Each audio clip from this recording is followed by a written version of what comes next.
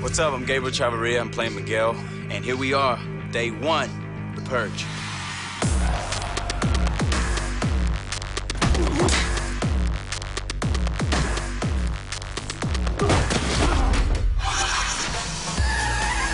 Uh, we're doing a lot of fun things today. The energy's great. We're excited. I'm Tom Kelly, the showrunner of The Purge. Today we get to put an actor in a trunk, and he has to drive around in the trunk for a while. I'm sure he's glad he went to the acting school now.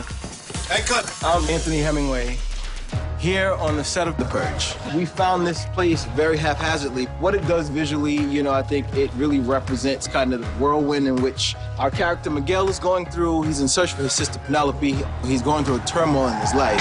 Action! I'm looking for Henry. I'm an old friend. I know all of Henry's friends, but I don't know your ass. My name is George Quinones, and today I'm playing the role of Tea Time. Who is he? Which is a meth addict. As you can see, I'm disheveled looking, and I just got beat up all over the place, and I was pretty high on meth as well, so. we just got done shooting a cool fight sequence, and uh, I think you guys will love it. Hey, cut it.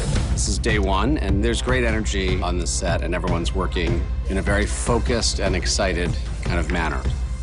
What's what's with Katie? Why is she cuffed? And that's for her own good. We're having a little holiday soiree later. Sweet Kaylee's gonna be our purge dessert. My name is Jordan Sloan. I play Lenza. Uh, this is Maddie. Uh, yeah. Go ahead. I'm Maddie Nichols, and I play Kaylee. And it is about one hour from the purge since the purge starts at 7, so we have about an hour to get back at home. It's purge night.